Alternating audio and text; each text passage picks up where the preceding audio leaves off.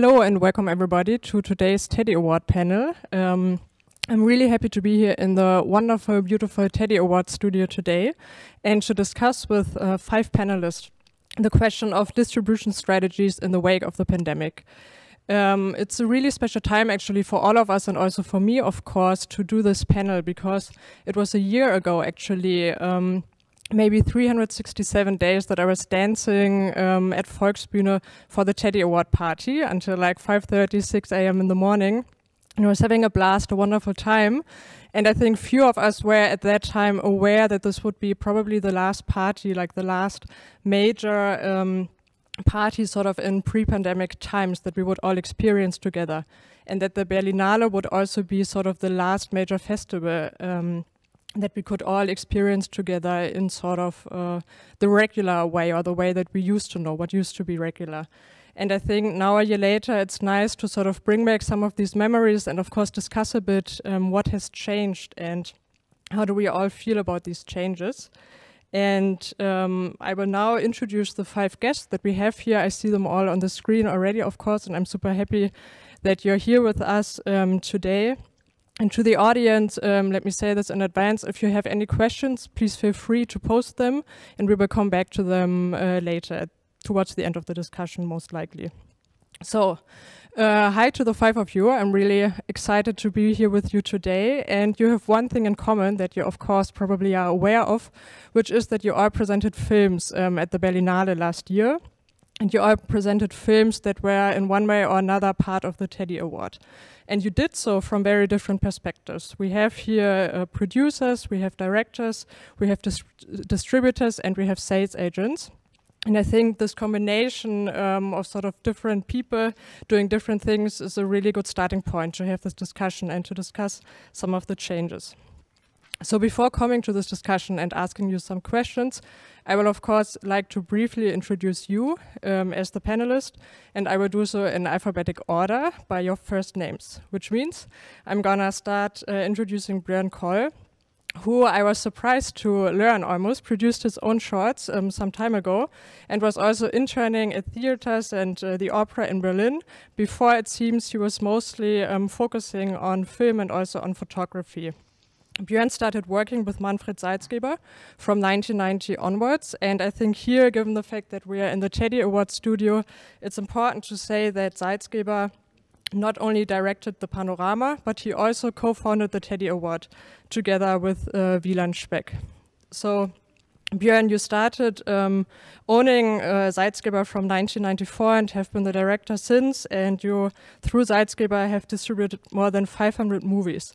And two of these movies, Cocon by Leonie Krippendorf and also No Hard Feelings by Faraz Shariat, were presented very successfully, both at the Berlinale last year, but also, of course, had their cinema releases and so forth. And I look forward to discussing that with you later. Thank you.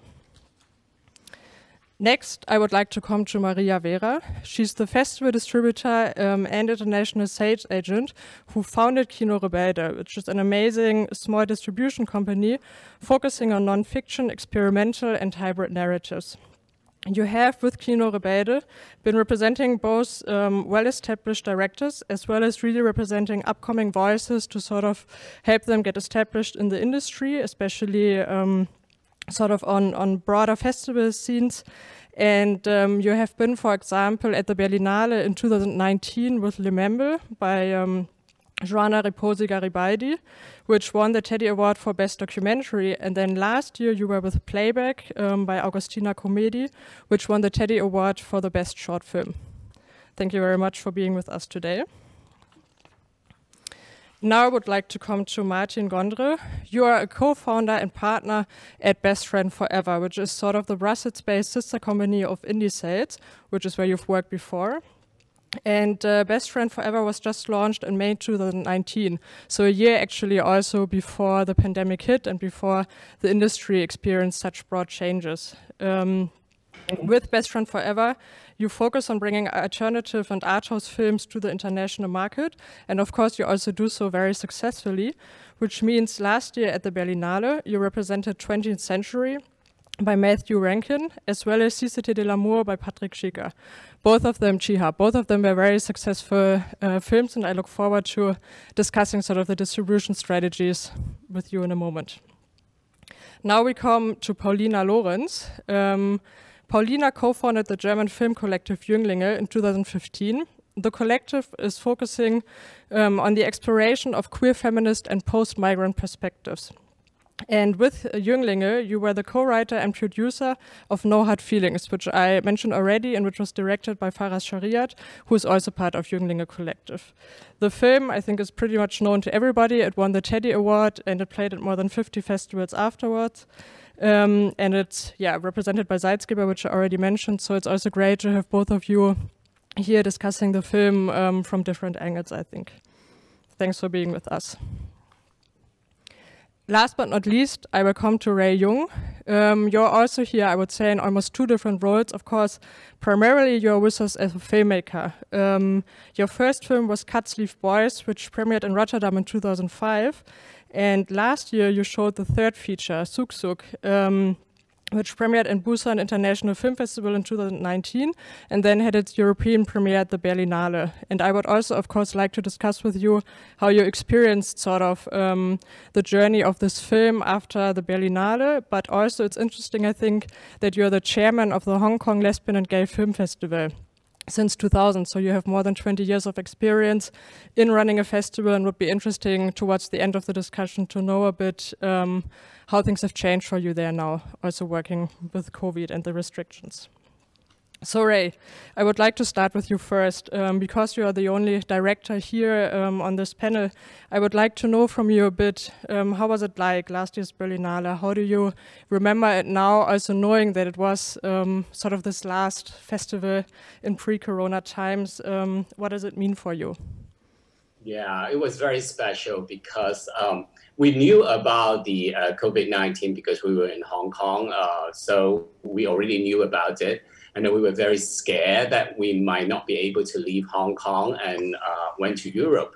So I actually flew three weeks before the festival to London first and then to Berlin, just so that I could escape um, Asia, just in case that there was a lockdown. So, uh, so I was able to get to uh, Europe beforehand.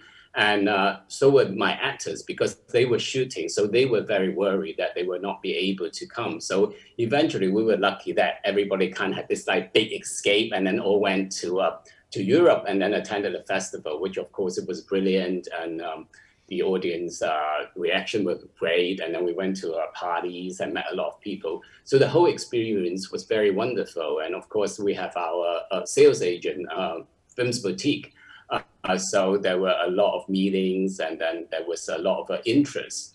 So um, as soon as we left Europe and then like as soon as we arrived in Hong Kong, then we heard about this whole explosion uh, of the COVID-19 in Europe. And the first week we were a bit worried because we were thinking, oh my God, because we were kissing so many people when we were in Berlin. So that, you know, did we have it actually? Did we, you know, come back? And then so after two weeks, we were all safe. So we think, okay, at least the first worry was gone. But then again, the uh, a lot of the sales, uh, meetings, uh, everything went on hold.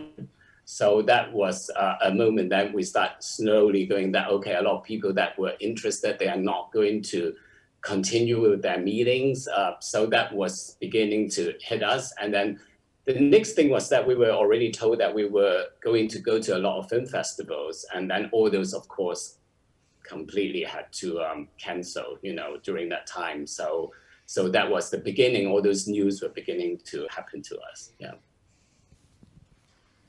Thanks. And when did sort of um, festivals take up again that were cancelled, like especially in Europe, that would go um, physically or online with Suk Suk? Uh, yeah, I think, well, I think in Europe, particularly after uh, July or August, people kind of like beginning to start get used to the idea. And then there were, uh, you know, I think Venice started their own festival, kind of like a hybrid sort of thing. And then, so the festival felt that, okay, they can start, you know, supply putting it together. So actually in the summer, and uh, I think after August, September, there were a lot more festivals virtual. And then from September to December, I think we attended like 70 festivals, like all over the world, because suddenly that period of time, everybody had the festival. So I was zooming day and night. but I guess you didn't travel to any yeah. festival anymore, or yeah. All right, thank you very much. Paulina, how was it like for you? Also, I guess it was sort of the first major success with No Hard Feelings that you produced and co-wrote, um, presenting it at the Berlinale, and then sort of being disrupted immediately afterwards, right? With exactly what Ray was describing, a lot of invitations, a lot of traveling. Um, how did that story go for you? Yeah, um, very similarly. I mean, to us, premiering at Berlinale, at Panorama, um, winning two Teddies was such a dream um, it was really, really amazing. And looking back, I think we were extremely lucky with Berlinale kind of being the last festival to happen before the lockdown. And then also later again, which I'm sure we'll talk about a bit later, we were super lucky again with our theatrical release in Germany. Um, but yeah, I think, I mean, I think also, um, same for me, the Teddy party was the last time I really danced and went to a party. So uh, very, very good memories for sure. Um, but yeah, it was it was similar to us. We had a lot of festivals lined up right after Berlinale. Had our like boarding passes ready. Actually, one of our actors was um, already he had flown to Colombia um, for Cartagena, and then the festival was canceled when he was already there, which was extremely sad. Um, yeah, so basically everything was canceled or postponed, and we also felt a really long gap, um, both with festivals um, as well as with sales and our theatrical release in Germany was postponed kind of indefinitely um, in the spring. So it was very, very strange that that was the last and the only kind of real festival experience that we've had so far with this film, which is our debut. Um, yeah. Thank you. Maybe Björn, I will come right to you then, of course, because uh, with Salzgeber you distribute both No Hard Feelings, but also um, Cocon by Leonie Krippendorf, and they were both uh, in different ways, of course, celebrated sort of as really being um, not only great queer films, but sort of a new generation of young German filmmakers. The other day I was reading an article um, that was speaking overall, as sometimes these articles do, about the state of German cinema, and there um, these two films again were brought as examples of being inspiration and of really giving us a lot of hope for what's coming next. So, from a distributor's perspective, and also with the long, long experience you have working in the industry and working with so many films, um, how do you feel about these two films and then, you know, them having been at the Berlinale last year and the changes that then came? Yeah, Berlinale was kind of usual for us, kind of a, like a normal festival. We didn't saw any changes. Uh, I guess some people might recognize my office, which is normally the smoking hell during our party. So, um, and normally, and then I always go to holidays right during Berlinale and back. So I kind of uh, got into the trap of COVID-19 in Colombia or in Peru, more precisely, and was very lucky to get back. And then it got a bit stressy because it's a company of nearly 20 people working here. So it's, it's a lot of organizing things to kind of just close down a company and to go in complete isolation. Uh, we had a little talk about how long it's all going to take and uh, we decided that we follow the theory that it's going to be 18 months that it's all going to harm the business. Uh, right now i would say uh, i'm a bit wrong so it will be at least 24 months or even longer. But with our 18 months which was already kind of a, more on a long tail thinking so we decided to immediately totally adapt the business model we did a lot of films digitally, so we had to sacrifice parts of our lineup because it was clear that we couldn't distribute them into the cinemas. Uh, we had to postpone a lot of releases, and then we had films like And Then We Dance, which was a bigger title for us, which had to go first. Then there was Cocon, where the TV people pushed us that we really have to do it in summertime. Then there were the ambitious youngling uh, people who also wanted to have something like going out. So it was a big, big problem to kind of jungle around with more than 20 to 30 titles. And at the moment, we still have films which we bought in 2019 and have no real idea when to release because we couldn't do it in the short summer time in, which we had in Germany. And uh, I guess overall, if we think positive, which we maybe sometimes should do, uh, I think for films like Cocon, also for And When We Danced, or for Futur 3, which is the German title for No Hard Feelings, uh, summer was really good for these films because uh, we had one thing that was the American studios were not on the German market. So we had time for exposure in the cinemas. And so actually, uh, COVID helped these films a little bit for the releases in Germany to say something positive, And the rest is just kind of, I would say, pure horror because you know we have so many responsibilities for filmmakers for people who had to stop filming. I, I don't even want to start uh, to to think about all these things. It's basically the one year now which is a constant nightmare Thanks very much for this uh, mixture of optimism and pessimism, I guess, that you shared. So, of course, now um, I would like to pick up with Maria and then Martin because you are looking at this maybe from a similar perspective as Björn is doing. Um, Maria, did you have a similar experience then also with the mid or like a vast uh, multitude of films that you are handling, right? These questions uh, coming up. How do I go about this film? How about that short film? How about the documentary?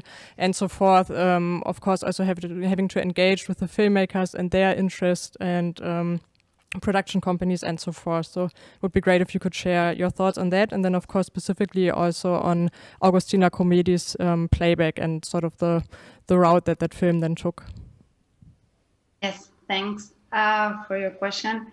Well, um, first of all, yeah, for me it was the same. I mean, it was uh, the last time that I had the chance to to be in cinemas, to enjoy a market, uh, to see playback in the big screen, and it was um, it was very tough um, because uh, for sure after Berlinale we had a lot of invitations. I mean, it's very similar to the other experiences. Um, a lot of plans, a lot of expectations, and I think 15 days right after Berlinale, uh, Berlinale everything just fall, you know, like, um, and I start um, feeling like. Uh, a lot of creativity. I mean, coming from festivals just to try to make it possible, and then we have to adapt also very fast. Um, we were also very excited with Agustina. We we started working together in her first film, and but we started five months um, after. I mean, after her premiere. And with playback, we started from the beginning. So we were uh, really happy to, to start in Berlinale and um, but yes, I mean a lot of challenges uh, arrived, um, and it was a very different experience from Lemebel. I mean, Lemebel, it also, I mean, it won the Teddy Award there, and um, yes, I mean, uh, playback. It was in 70 festivals already, and I think the 75% they were online. Uh, that's a little bit our experience. Thank you very much. Martin, if you want to jump right in and uh, speak about yeah. your experiences. No, me, I'm, I'm joining all the all, all, the friends here. Basically, Berlinale was a super important market for, for us because the company was still quite young. It was only six months. And it was the first time that we had really a booth in a major market with a full lineup. And we had four films in selection. So it was actually an amazing week uh, with four premiere, with uh, with several awards at the end, including a Teddy for for If It Were Love. So it was kind of a crazy week, and everything um, just stopped afterwards. Uh, fortunately, we, we made already several deals in Berlinale that was signed and that kind of secure a basic economy for the film. But all the ongoing um, discussions that we had on, on the film indeed were put to an end or, or, put on hold. And most of them, one year afterwards, some ended up with deal, but most of them did not. And when we we got to, we understood that all cinema and all the industry was going to stop for several months. of course, it was first about how to to protect the company. And a little bit like Björn, us, our actually our bad scenario of things was about 12 months, which half the time was already seemed like something impossible and something crazy. So now it's going to be 24 months. So and so how to protect our company? But fortunately, we, we are a small company. We are only three, so we have the chance to to manage to adapt our economy and adapt our cost to to the new to the new reality. But besides this, quite quickly afterwards, it was how to protect our film, indeed. And um, and when all, all, the festival life as well was was going pretty well, we received many many invitations during Berlinale, and all the first months where the festival did not know what to do, and it was really the bad timing, and they couldn't have time to to switch online was a very very dark time to be honest with cancellation every day every day and all the question was how are we going to secure and protect our film and the economy of our films so that they can manage to travel. So quite quickly, fortunately, indeed, everybody switched online and um, and thanks to maybe Shift 72 as well, all the festival managed to super quickly sw switch online by keeping the same kind of um, economy and keeping the price as well and the fee for the film, which was super important because uh, it, it, it, just kept the, the main gross received for the film for, for several months before the distributors could have a small visibility on their lineup and their film and what's go, what's going to happen. And then we, we will go into more details, but um, but at the end of the day, uh, the film went uh, quite okay. We made several several sales. They they traveled a lot, and both of them. And when I'm saying the film, it's mostly If It Were Love, Si C'était de l'amour by Patric Chiha in the 20th century um, both of them made more than 60, 70 festivals as well.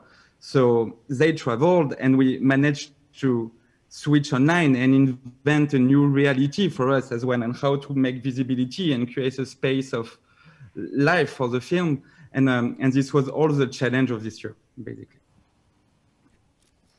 Thanks very much. I think you brought in some really um, interesting and important aspects, which is, of course, also the economic side to all things, right? As like artists, distributors, producers, sales agents, um, the whole industry is struggling to survive or has to adapt to all of these challenges. And of course, different interests have to be taken into account, both with um, a way that the film may want to take for, let's say, not idealistic reasons, but artistic reasons, interests, and so forth, and then the mere necessity also of having to make ends meet. And it's interesting in all of your responses, of course, um, one can feel this time frame when it almost, although it shouldn't have been a surprise, it hit most people as a surprise and adaptations had to be made rather quickly. A lot of stuff was cancelled, especially when it uh, came to festivals in March, uh, April, May.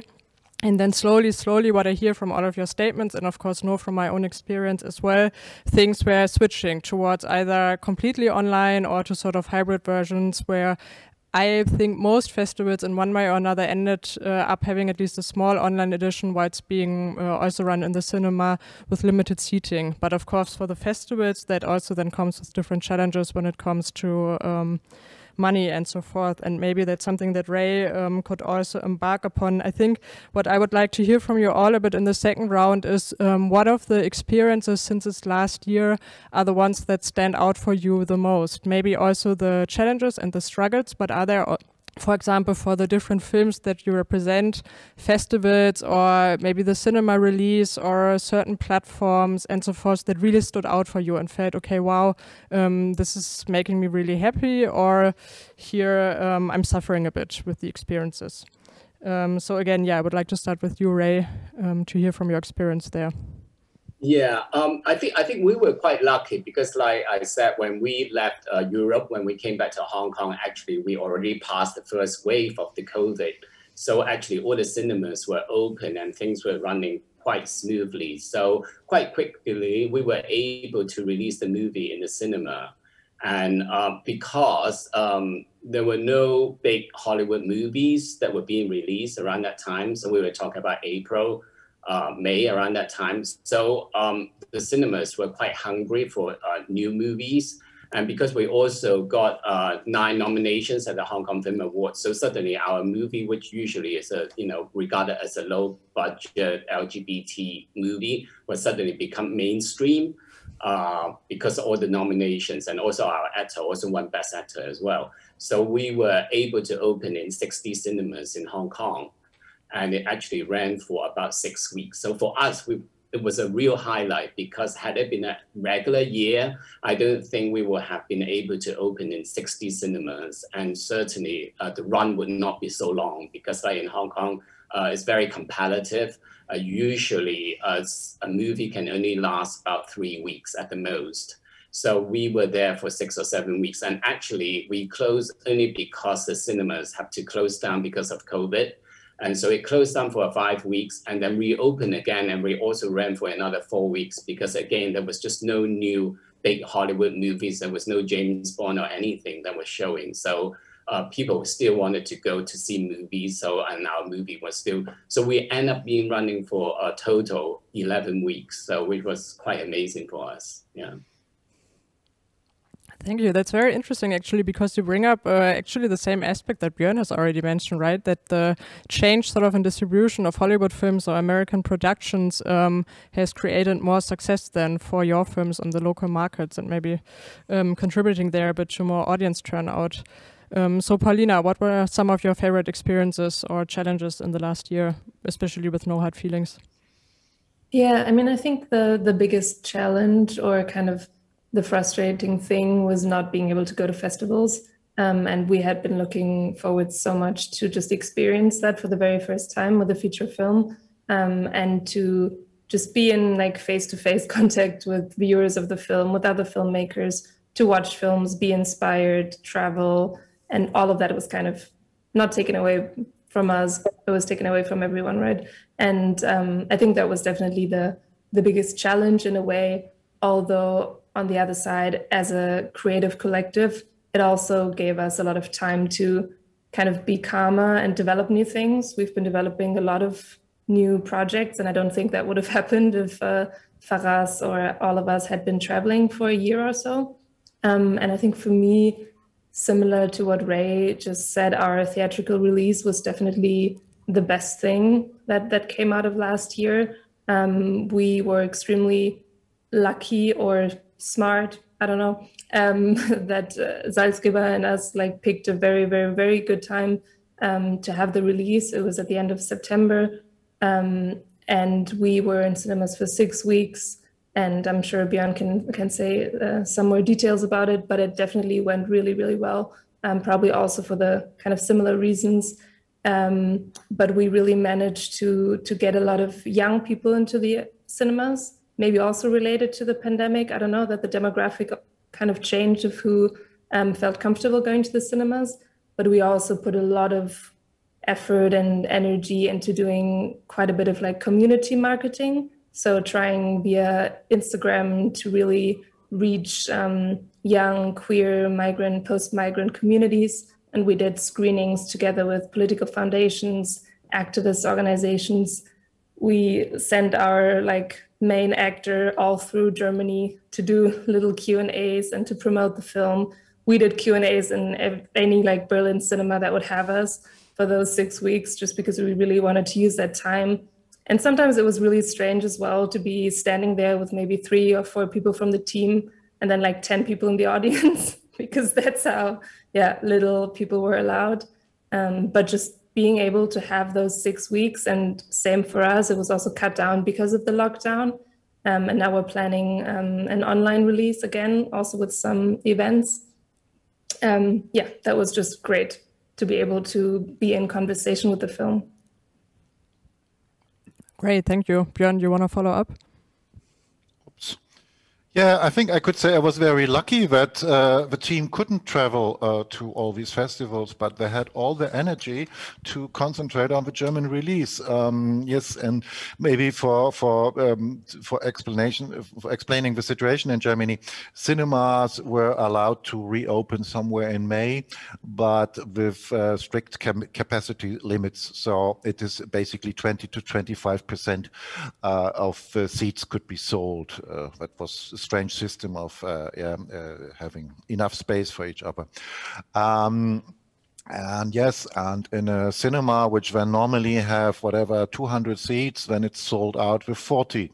Um, that is exactly what happened with uh, No Hard Feelings, where it was basically in some cinemas completely sold out for weeks, weeks, weeks, and weeks uh, till we had to, till the cinemas were closing again. So I think it's a good example, um, uh, meaning uh, overall, it, No Hard Feelings is a it's a small film for Germany, yeah, and it was also a small release. It's not a big mainstream release uh, with a big budget, but um, it managed to have at the end after these six weeks and then we had to close again. It, it was about 30,000 or 32,000 admissions which I think is a hilarious and very very good result for a film like this out of my experience or to compare it with and then we danced uh, was ending up with uh, 48 or something like that. So um, it is and I guess if we could have had more exposure in the cinemas, uh, Futur 3 or No Hard Feelings would have ended at least with 50,000 as well. So we were harmed, but at the same time, we were happy and lucky to release at all. And um, now I forgot the question, Merle. What, what, what do you want to know? Mostly you answered it, but I would of course be curious about your personal highlights and lowlights. But you mentioned some of them before. Looking back on the last year, great experiences, uh, specifically with the distribution of films and the changes that came. Uh, if I might answer personally, I would say that actually it should have been my sabbatical year uh, after 30 something years i wanted to make a year off so uh, this obviously did not happen because I felt that the captain should be back on on the bridge. So uh, I've, I've, I'm thinking that I haven't really worked that much in my whole life like I did the last year. So I totally feel exhausted and um, uh, maybe people underestimate what all this digital sometimes works uh, on a working level. Yeah, like uh, and uh, so the company is completely in home office, which causes a lot of problems and troubles.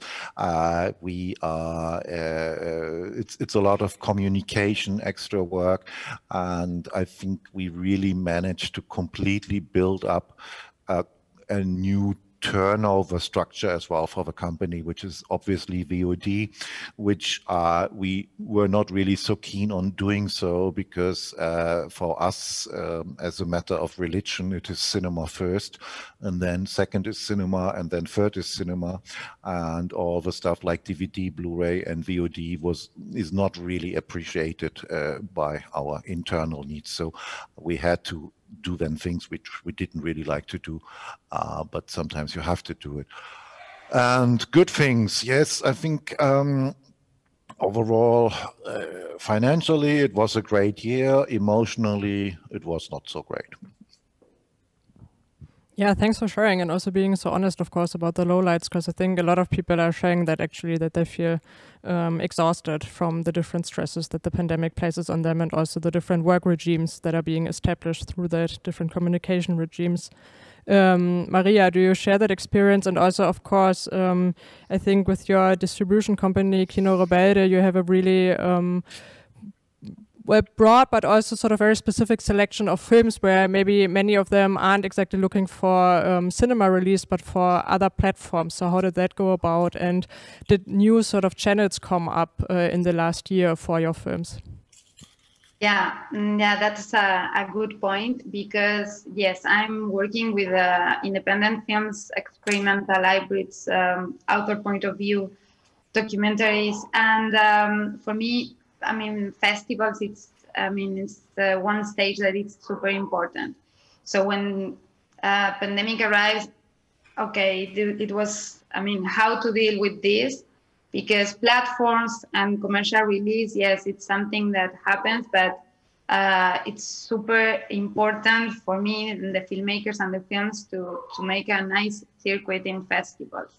Um, so the first uh, challenges we had, it was uh, to adapt to the online and to start, you know, working on geo-blocking and all this.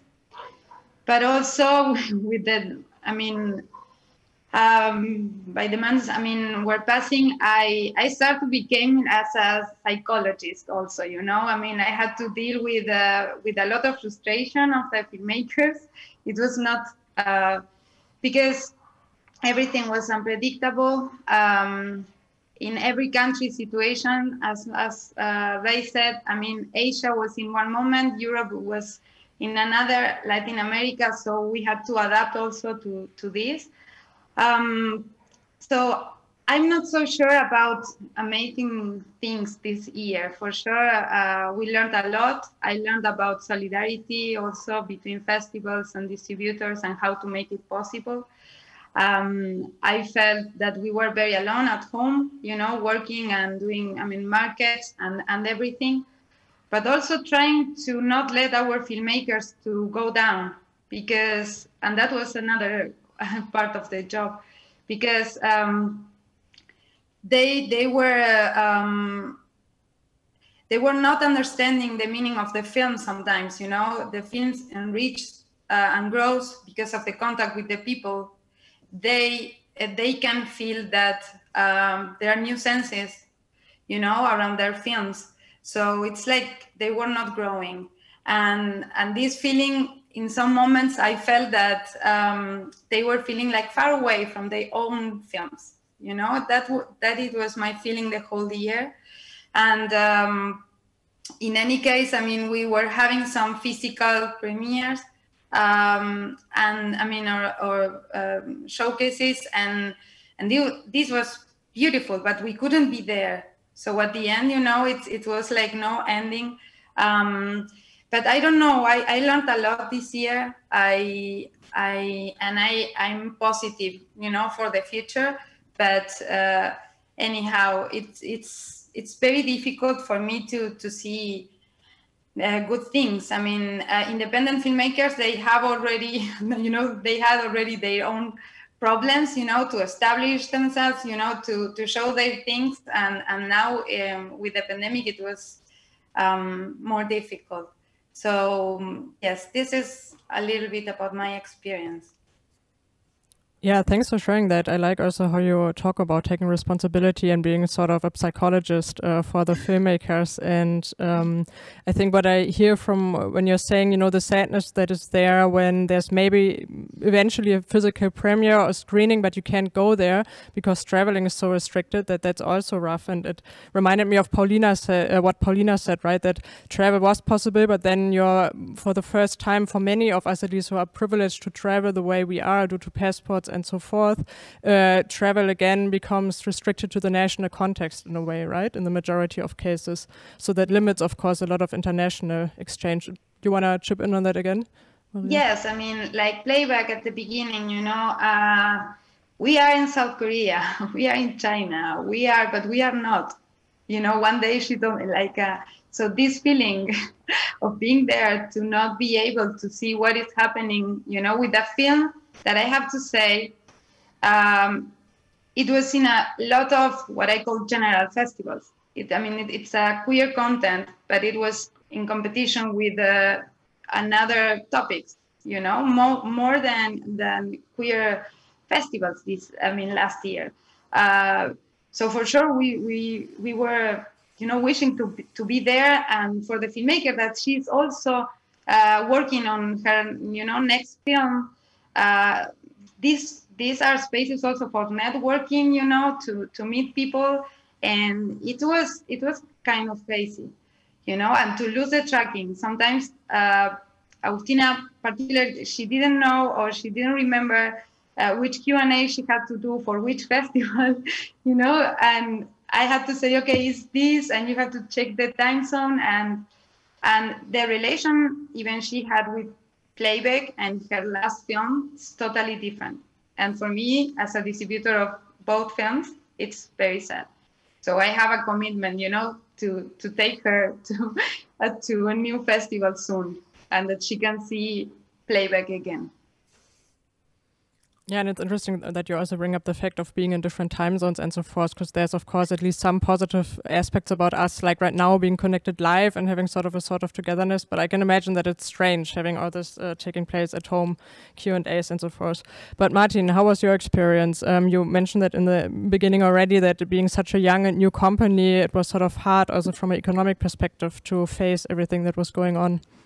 Yeah, no, basically indeed, but what um, I, want also to have some kind of a positive um, message here is that in the middle of all the tough and dark times, and even like when I'm hearing about all the good story of the release in theaters in Germany, uh, this is really a huge chance. And for example, Us If It Were Love was said to be, was released in France like one week after Berlinale. This was the idea and the strategy. And the film was for a week in cinema with actually good numbers. And it's got its legs cut with the first lockdown. And it reopened in June when cinema reopened, but it really was not the same. So we missed an opportunity here. But also within the crisis, I think from innovation and good things can come from the crisis. And for example, we had some um, some good experience as well in several countries, maybe like Switzerland or Benelux. At some point during the first lockdowns, distributors were looking for new films to acquire to be able to release in premium VOD, which were films that anyway did not have a sale, um, a normal sale or rights and were supposed to be released theatrically in a normal way.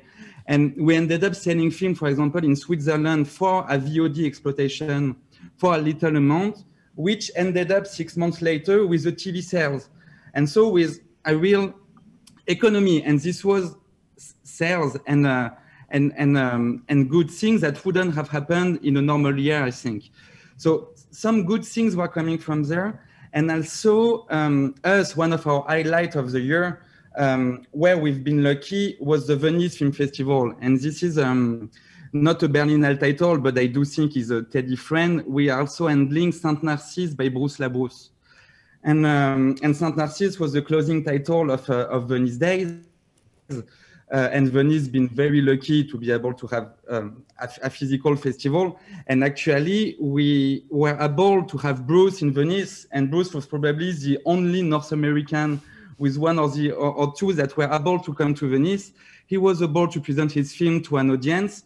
And afterwards, the film ended up selling quite well among the crisis to several distributors and several major countries like Germany, France, UK, and the US. So some things happen and some good things happen as well.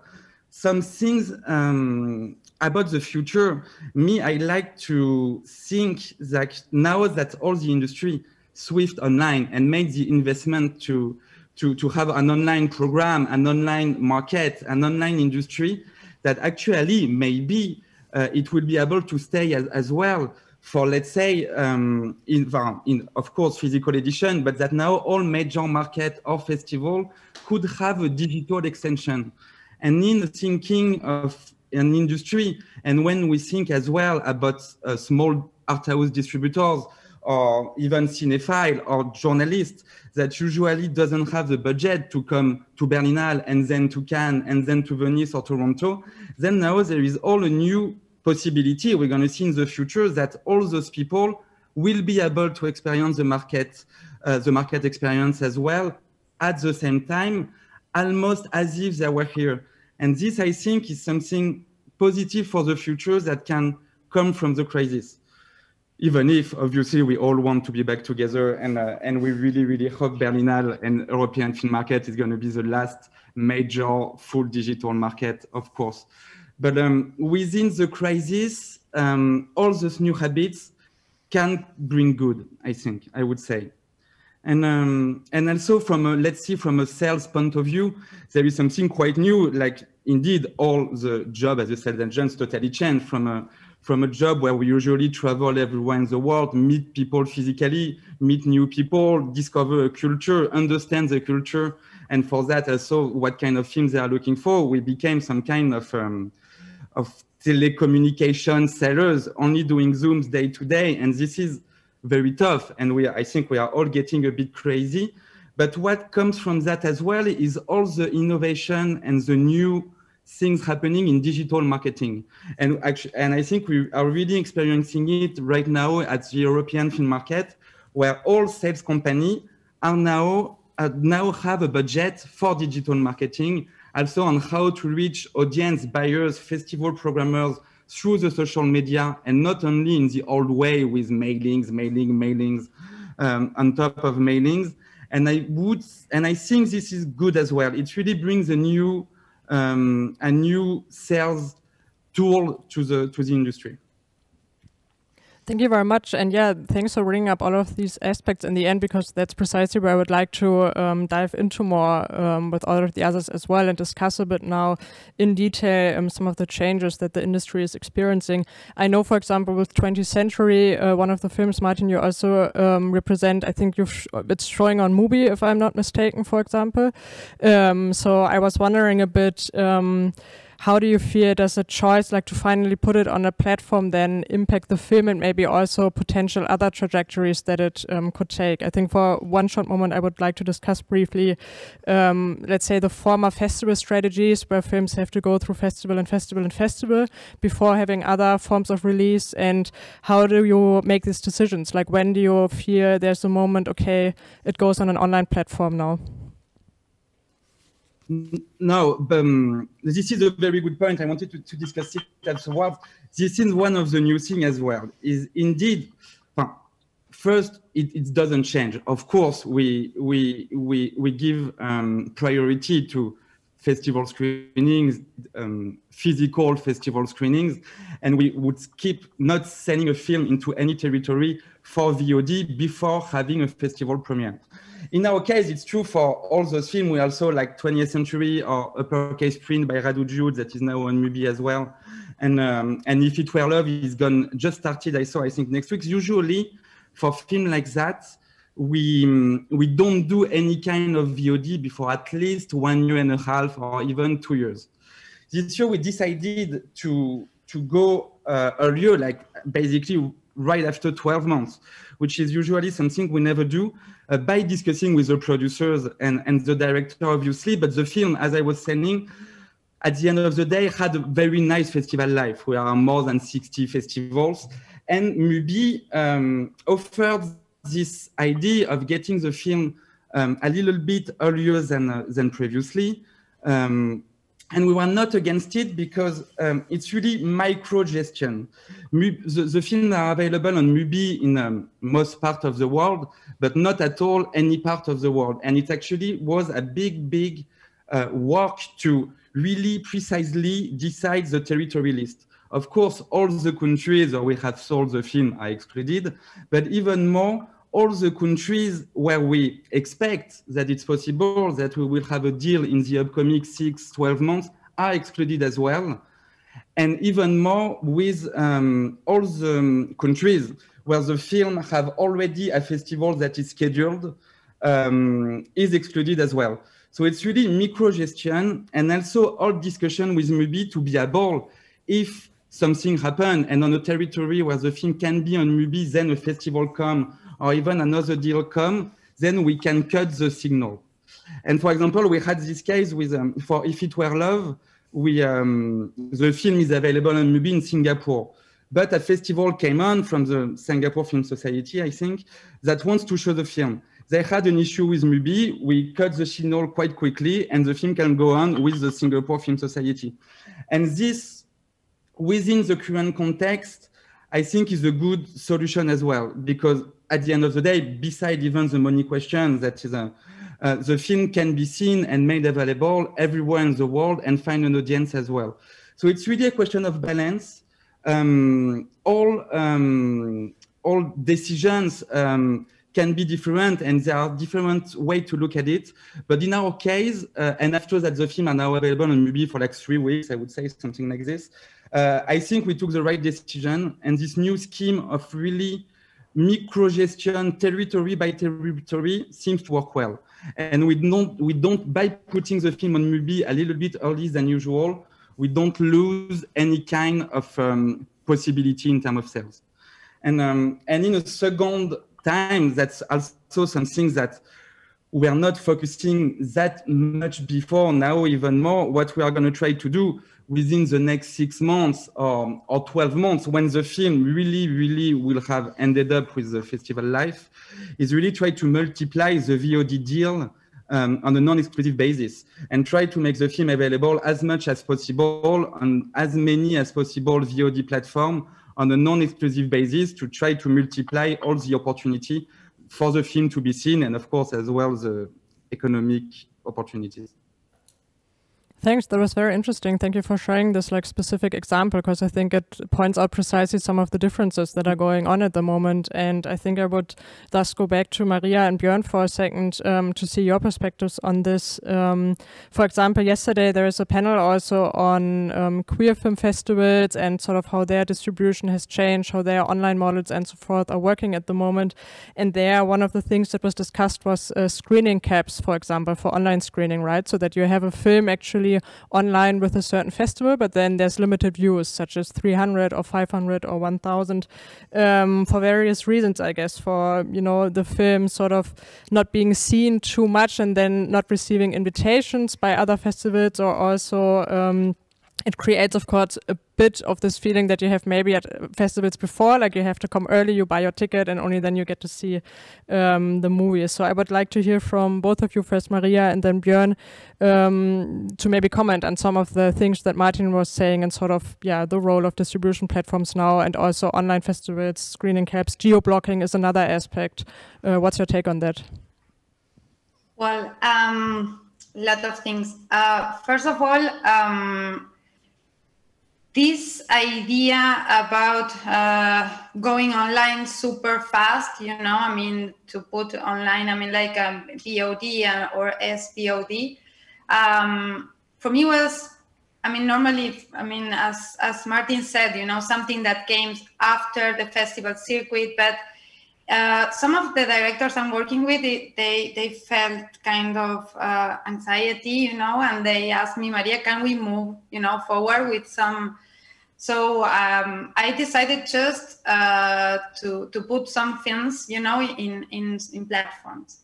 Um, so and we started with those deals. Uh, my company started in. Uh, I mean, 2017. So I was going, you know, in the direct way, but but this year I met a lot of new uh, VOD platforms, very nice, curated, and very interesting. So okay, I start with those feelings. Then um, in the case of uh, festivals doing online premiere and and all, all this, um, at the beginning I didn't know, you know, about, and I had to ask to programmers. Uh, so how many views do you think it's going to be? We were learning almost at the same time, and and with some programmers, I I, I felt that we were doing like a master, you know, about geo blocking, IP, VPNs and everything. And uh, at the beginning, I was thinking, okay, 400 views. And then I started asking the reports. And uh, month by month, uh, while people had to spend a lot of time at home, I think that the demand was a lot, but the offering, I mean, it was huge. So people, they really didn't know what to see. And I don't know. But in some festivals, yes, uh, we had around 200, but in another just 30 and another. So uh, I put, yeah, I decided uh, to, to have these 400 views uh, for festival to give for sure another possibilities to another one. Um, but also because I think uh, some festivals they were they were putting you know like I mean they were adding uh, we have this amount of tickets available so also push people to watch them uh, because also, I mean, festivals that they run, I don't know, like, I mean, in 10 days or 20 days, I mean, I think you have to make it shorter. Um, but then, I don't know, like, yes, geo-blocking, it was another important point because uh, I know that at the beginning, the industry was kind of polarized around this, you know? Um, and then I learned that a lot of festivals, they wanted to keep the idea to show for the first time to their audiences some content. So I had to deal with that very, very strongly. And um, because of that, I think that, I don't know, Canada or United States, they can geo-block by states or provinces, you know. So one of my films, it was geo-block, I mean, by hot dogs to Ontario and then it has the chance to participate in Nouveau Cinema in the national competition. It's a Canadian film, and it won. And just because the geo-blocking, you know, so Nouveau Cinema, they wanted to show it for the first time there. Um, so sometimes it's not, it was not easy. uh, to, to, to, to explain this with festivals, but I was most of the time like uh, having or creating like amazing like agreements. You know, they were open, they were flexible until today. Today, I'm I'm uh, have I mean I have a lot of films that they are looking for the world premiere. Uh, a lot of festivals that they can't say today if in the next month they will make it physically. So, I mean, uh, it's very it's very difficult um, and and we are i mean i'm doing the best but to be honest I, the, the last year i i was not taking new films for 2020 i couldn't like emotionally because of the work as as uh, my colleague said like I, I never was so tired, you know, like uh, even I was in front of my computer because uh, emotionally, emotionally, it, it was a, a lot. Um, so now I mean, I'm pushing, and I my my desire is to have, I mean, and to see my films in a big screen, and to give the opportunity for filmmakers to be there. Um, so I don't know. I I separate things. As a sales agent, I support VOD. I want that. I mean, it's super necessary to not let die our films. You know, I mean, in my case, that I'm working with independent films and you know something. I mean, films very very special uh, but also I'm supporting festivals, you know, to because I really think that festivals are, I mean, a political space also. And you know, for for queer uh, festivals, you know, I, I have been, and just to finish, uh, in Mawjoudin Film Festival in Tunisia. I had the chance to be in, I mean, in a, in a very brave festival in Tunisia where LGBT community, I mean, is having a, a very special and hard situation, I really think that those spaces are necessary, you know, and I want to support that. So VOD um, uh, online for me it's a plan B, and I, because of my way of working, I will keep supporting festivals, and I, I will understand if they have to to do it in a hybrid edition. But that is a little bit my my point of view. Yeah, thank you very much for sharing that. I also again like the specific example of the film that you know had to be geo-blocked to Ontario in order to compete in another festival. It's a bit like the specific example Martin brought up. Um, and Björn, I think some of the points that Maria um, raised, of course, are interesting um, to then take on towards you because she was just saying, okay, VOD uh, will be Plan B, and then now with Sideskip, of course, like you mentioned in the beginning, a lot of changes uh, have happened. It's not only that you expanded your own own uh, VOD platform, but also um, now there is queerfilmnacht.de, sort of the night of queer film, where every month two films are being shown or like selected for these two months, and you can pay for them and watch them online. And I found that a very interesting concept because, in a way, I think it meets precisely this this middle of having a lot of content being online, but then, like Maria pointed out, sort of being the problem of okay, there's so much. So how do people actually know what to watch, uh, how to find the stuff they're interesting, and so forth? And with Queerfilmnacht, you not only cater to a specific audience, but in one way or another, it's curated, right? It's two films and they're only available for a month and then uh, they take a different route. And I'm wondering, of course, is this something that's going to stay? Um, and what are your thoughts uh, on this and how did you go about creating it? Well, we organize the Queer Film Nacht since whatever, eight years or nine years. Um, so it's a monthly film event in 30 something cinemas in Germany. Uh, same as we organize a queer film festival in September in 11 cities in Germany. So we are there with several ideas how to get an audience uh, in the cinemas. Uh, my general remark on hybrid or online festivals is that we are not really supporting the idea that festivals will have an online edition in addition to what they do in the cinemas. Um, mostly because I think all of them lack to have fair business models, meaning they all work with a third party and then they come with 50% or 50% or 50%. So there is hardly no money left for the filmmakers or for the producers. These are not fair trade, uh, fair, fair terms of trade. And I would like to make a general remark about all this online thing. Um, well, we, we, we, we do online since ages, um, but uh, there's a very clear learning about uh, where you make money and where you don't make money. And so uh, about 90 something percent of the turnover we make are with the big studios like Amazon, iTunes, Google, and then there's all these uh, other platforms which are really getting on your nerves and need an additional file and this and here and blah, blah, blah, and have own specification. And then you look into the details of a report after half a year where you have called several times to get one at least, and then payment is uh, half a year later and so on. And then there's a turnover of 20 euros or something like that, meaning fuck off. Yeah, that's not, uh, uh, there's no business in that. And it's not the job either of a sales agent or distributor distributor to serve all these platforms for not doing business, meaning we are here to do the optimum and the best for our films and the filmmakers.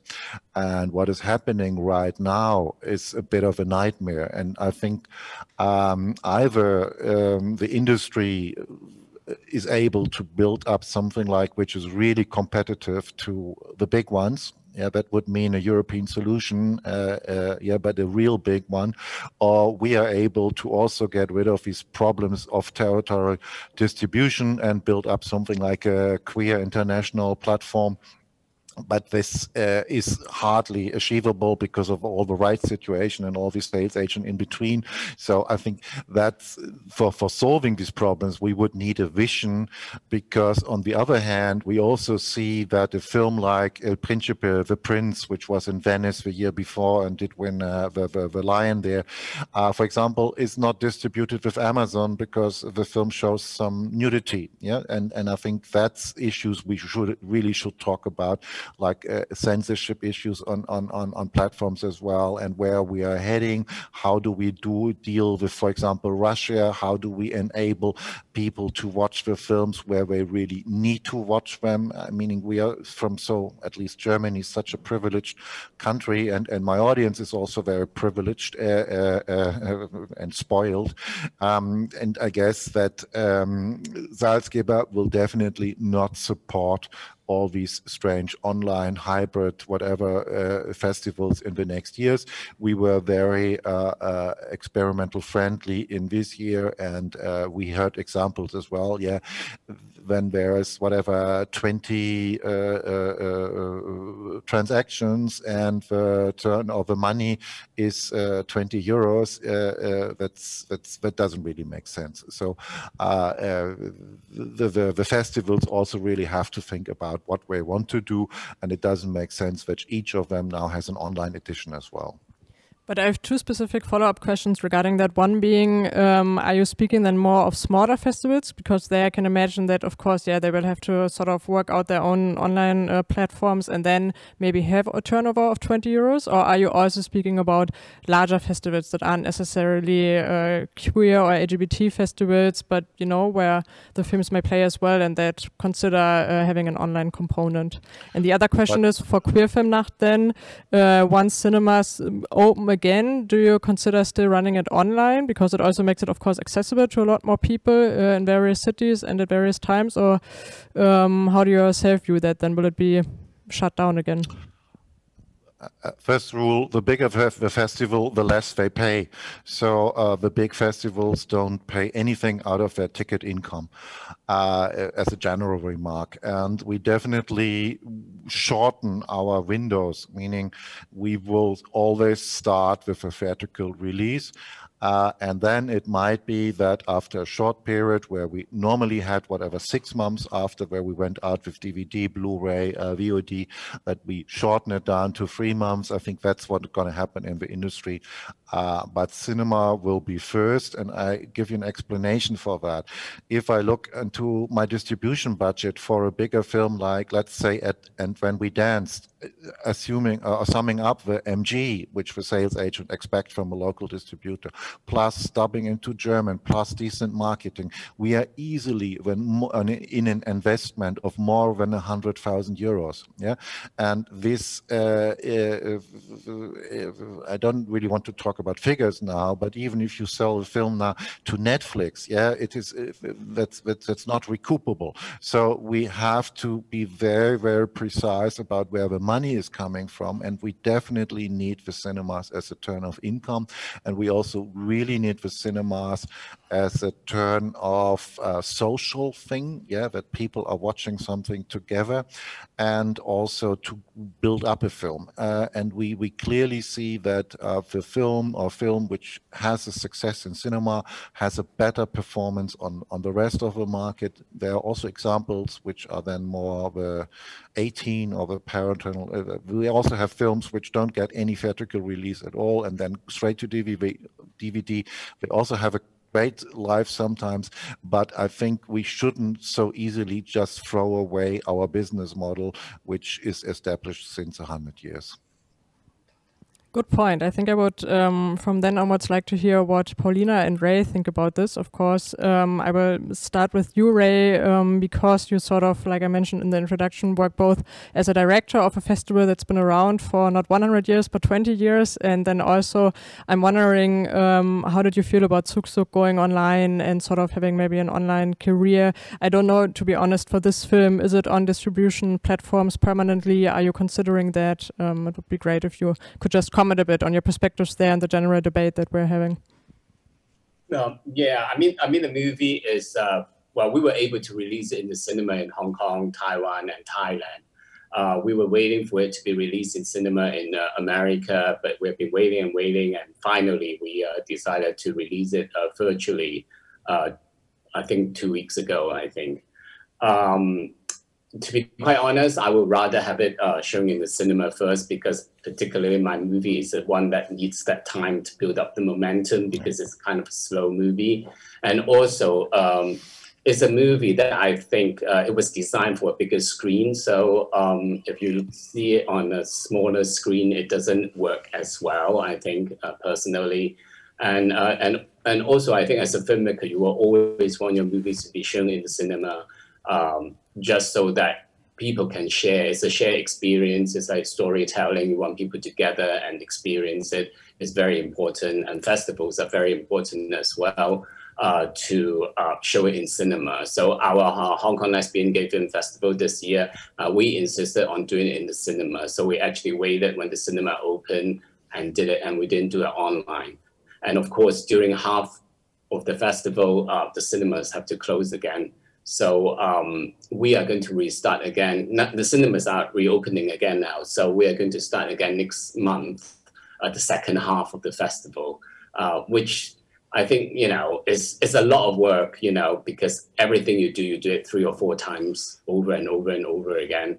Uh, but, you know, that's the way to go, you know, because um, we are in an unusual situation. So that's something that we're all trying to cope. But I really hope that after things are over, uh, we will get back to normal um, times two, really. I think because people have been stuck at home for so long now, and I think everybody must feeling very isolated, you know, even with all this Zoom and watching online. And I mean, personally, I think if um, everything is going to be fine again, I don't think I'll stay at home at all. I think I'll just be going out, uh, watching plays, watching movies, uh, go to concerts, meeting people, dining out. You know, I just don't want to be at home, and I hope everybody will be the same as well.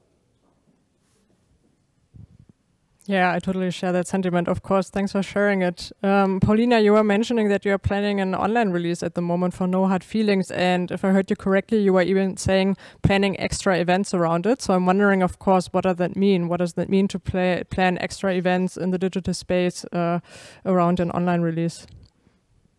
Yeah, so um, we yeah we had a discussion um, Björn and, and us some months ago I think at the maybe end of last year um, to talk about yeah what do we do? Do we wait until cinemas reopen and we try again? Or um, do we go with a uh, with a kind of digital release? Um, and I think for us it was important to kind of keep the momentum going um, by having the film shown online um, with very very heavy hearts, of course, because same for us. We we loved the film being shown in cinemas, and of course we prefer that.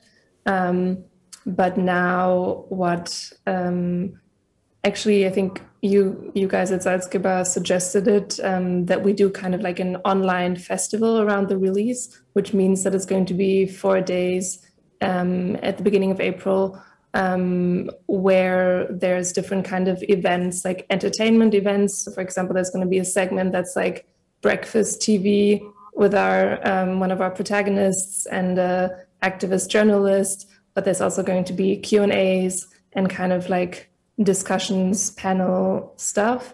So I think for us it was important to not just put it online, but have something happening around it that more has like an event character. And I think I, yeah, I really like what you said, Maria, earlier about festivals and events being also a space for politics and activism and community. So I think that was important to us to say, okay, how can we move this online, but still create a sense of community and have discussion about the film. Um, but yeah, and I think another another argument for putting it online and not waiting for cinemas to reopen was also the fact of um, inclusivity in a way. So maybe even if cinemas reopen, who's going to feel comfortable to go? And there's people who maybe haven't had the chance to see the film for a year now since Berlinale who have really been wanting to see it. And maybe because they've been living in smaller cities uh, where the cinema didn't show in the fall or because they they are maybe part of a risk group and that's why they don't want to go to the cinema so that was also part of our um, thinking and yeah i think we're really excited to see how it's going to turn out this kind of festival idea. Yeah i think uh, what one general remark uh, to understand it uh, maybe a little bit better. We are following the rules of the federal law of Germany for film funding here, meaning the film was uh, very little publicly funded with a very small amount. But if you have public money in your funding, you have to follow the rules. So uh, that's the, that's def is defining the window of six months, and actually the six months are over uh, already in March. But for some cosmic whatever reasons, you decided to make it the beginning of April, April, which I really liked the idea. Uh, and so and then we thought, okay, just not do a simple DVD and Amazon and iTunes and blah blah blah VOD release. Uh, but uh, let's do something fancy and to uh, try to go back to the cinemas, which most probably will not be possible. But that was also the original idea when starting to plan about it uh, is back in September or in October. Um, so now it's going to be all online, but we wanted to give some extra to the audience as well to just not make something ordinary. Thanks for explaining that. Yeah, it sounds really cool, I must say. I mean, I'm looking forward to Breakfast TV already. And I also like what you said, Paulina, regarding the inclusivity, because I think that's an important aspect that I see some potential in online distribution there. That, for example, subtitles are, of course, more available, but also um, audio description for people that um, cannot hear so well and so forth. So a lot of people have been commenting on that, and that um, also, of course, not everybody can travel around to festivals and so forth, making films more accessible. Um, I would like like to come to my very last sort of questions and directed, of course, to all of you and would like to begin with Martin. Um, and actually, it's something that I wanted to ask, but also Maria already brought it up a bit. Um, she was saying, well, you know, I couldn't take on any new films uh, for some time because I was tired or, you know, wondering a bit. Um, or did I misunderstand you there? I don't know. No, uh, yeah, no. I said that, I mean, um, I had already premiered at IDFA, Berlinale, and Rotterdam. So I had, you know, like some films and, and, and already another ones. But uh, that year, I mean, I mean, it was so complicated for me, you know, uh, to think how to make it because I had to support, you know, and I had to make move forward my films that I already had. That it was very difficult for me to take new films in 2020, you know, just or films that I don't know premiere in, during August, September. So I just put the focus in new films, you know, and my idea to release, uh, you know, 2021, and we are in 2021, you know, and and things they are not so uh, different. So, but this was just uh, what I could do in that moment. You know, it was my decision. But I know of a lot of people with, with films that they just put stop. I put stop in one film that I decided just let's wait. Uh, but I know from people that couldn't finish the, the films or that they finished and they were just waiting to have a normal premiere. So sometimes uh, now I think, sorry, we have some uh, people with films that they are not finished or they are trying to finish. And also a bunch of films, you know, like uh, wait, I mean, looking for a premiere. I know this. I mean, like, uh, so yeah, this is a little bit what I wanted to say, but it was my own decision. Yeah, thanks for elaborating. And I think it's it's interesting that you brought it up and that you made that decision. And of course, all our personal capacities and so forth play a role there, and also the times that we're in. Because what I'm wondering, um, first of all, to the three of you, like Martin and Björn and Maria, and uh, later, of course, I will ask a bit of a different question to Paulina and Ray. Is um, does sort of the impact of the pandemic and also Björn was saying in the beginning, okay, we were thinking of 18 months. Now we know 24 months of, you know, sort of changes that we have to deal with. Potentially it's going to be even longer. We don't know. So I'm wondering, does that impact your choice? Not only your distribution strategy, but also the choice on films that you take on. Also because Ray, for example, was speaking a bit about the importance, for example, of a film being shown on the big screen. And I personally also find that there are some films, of course, that are made for the big screen and that I mean, of course, you can watch everything on the laptop or whatever, but I do believe it makes a huge difference. And there are some films that may go better online, at home, and so forth. So I'm wondering a bit, as honest as you can, if you would like to share um, how this has impacted sort of your your strategies. No, but well, like I, I can try to start us at the end of the day we try not to change anything. We we kept buying film kept buying film with MGs we kept um, faith into the future um, thinking that the industry and we should go back soon to some kind of normal.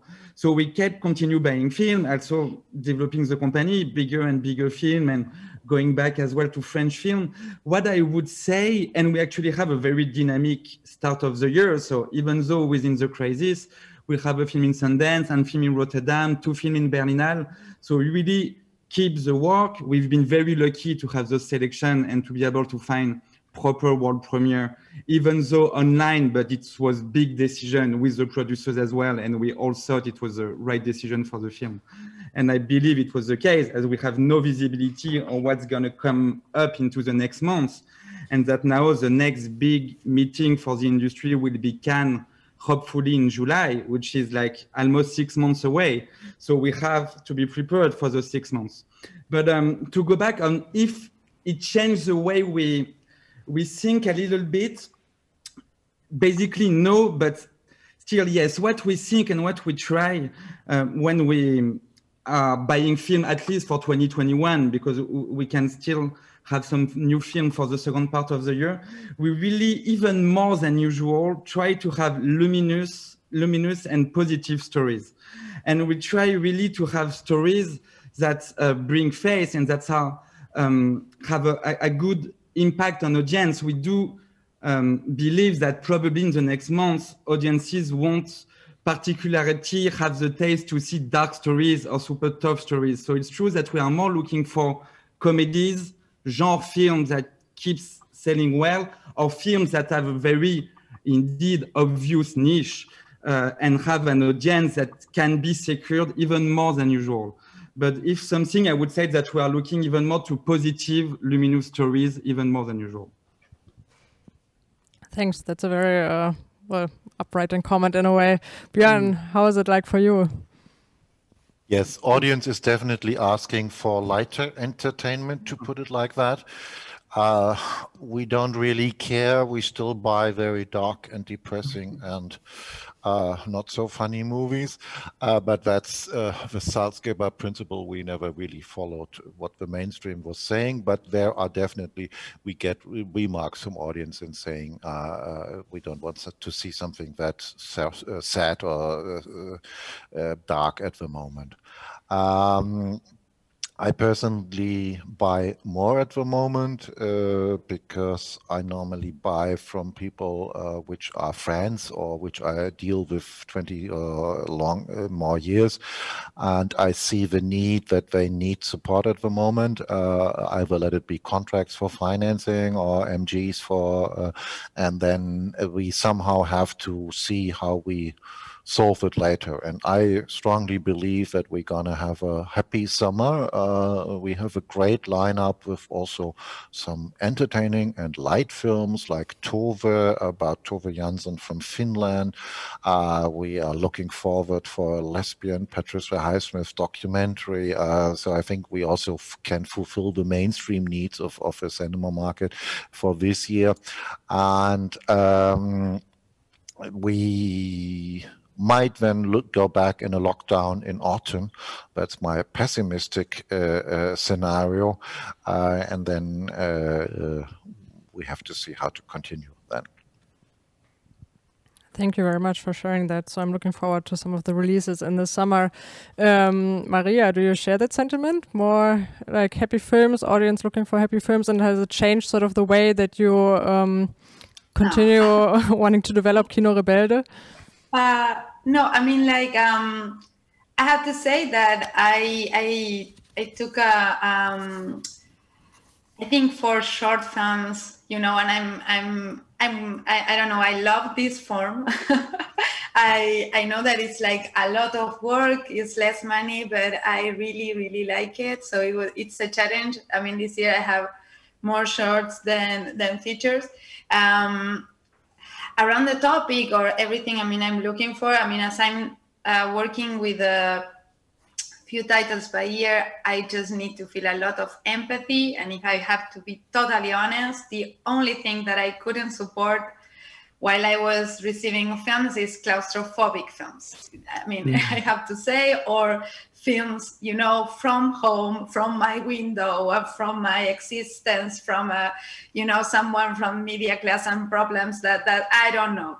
I didn't feel connection with that, but the rest is like I'm super open and this is totally personal. But you know, I mean, I'm myself in my company, so I really need to connect with the story.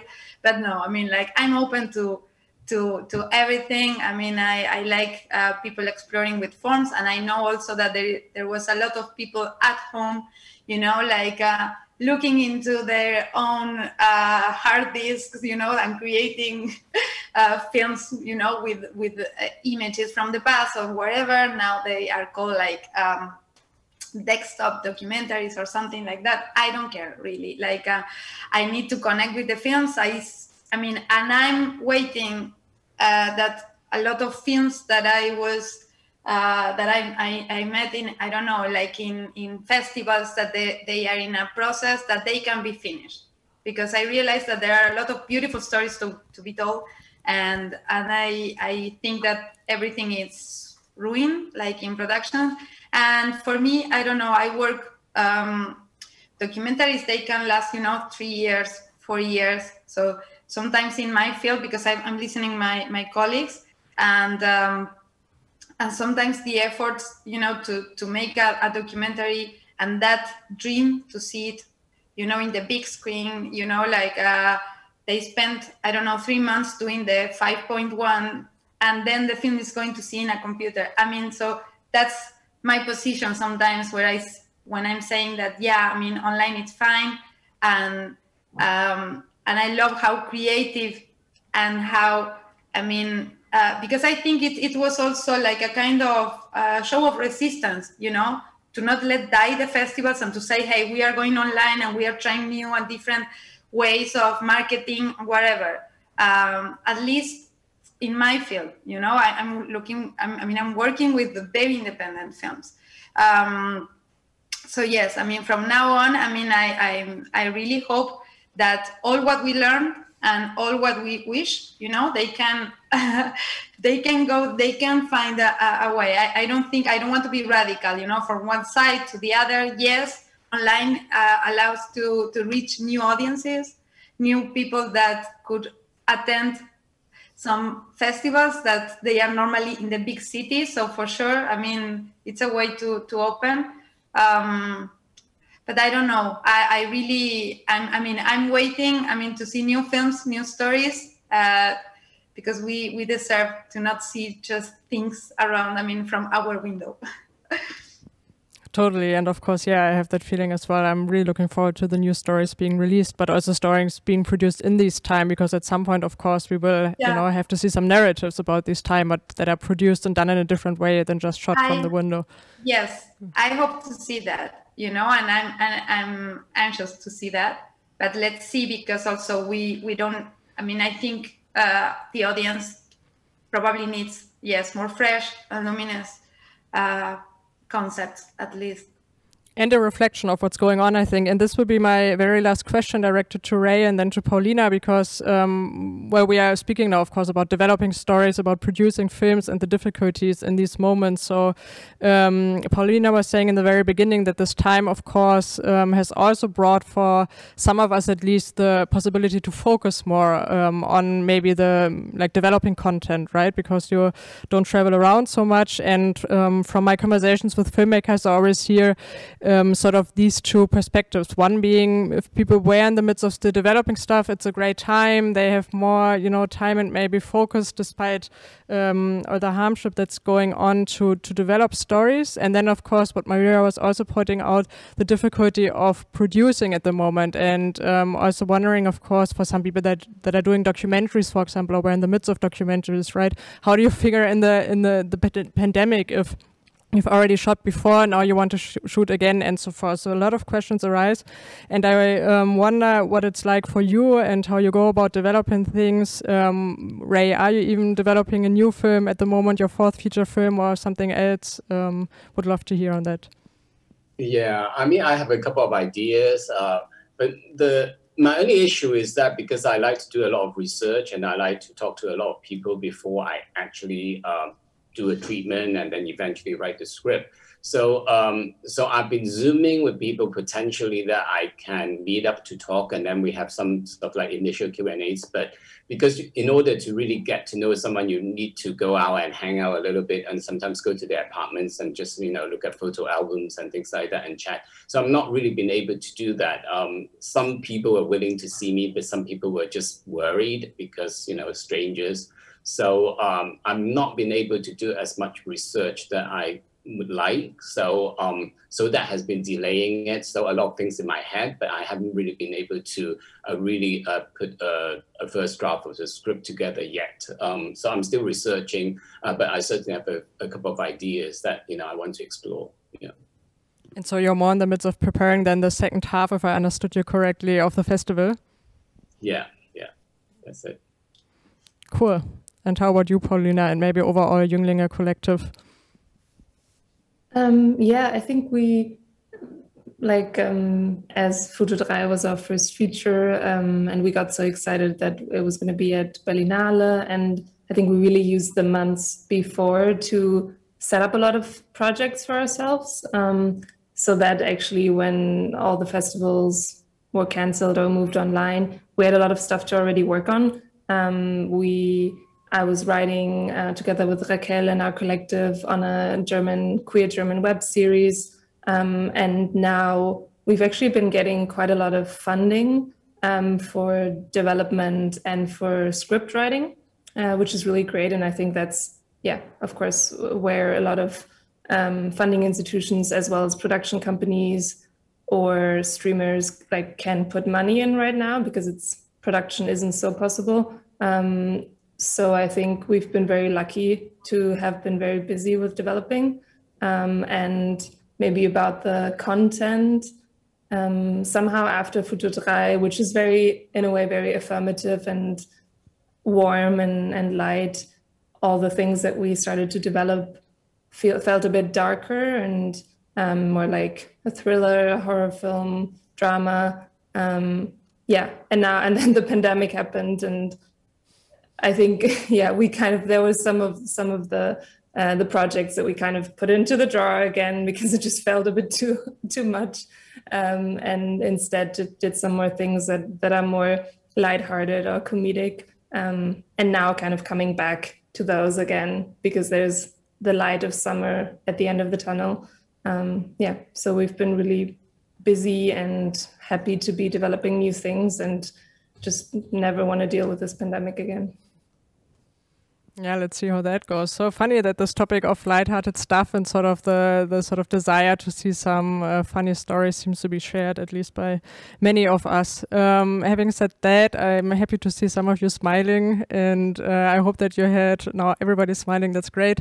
I'm smiling as well. I hope that you had a great time um, discussing this together. I personally enjoyed it a lot. I learned a lot, both in terms of like broader questions um, as well um, as like being really appreciative of the very specific examples that you gave to sort of illustrate certain points. And thank you very much towards uh, the audience for watching it and uh, having engaged with us in this conversation. Of course, feel free to reach out. Um, to Teddy Award, uh, to Panorama, to Berlinale, and I'm pretty sure to everybody else here being on the panel if you have any further questions. And now, um, you all being in different time zones, I wish you good evenings and afternoons and I don't know what, and hope to see you at some point in person again.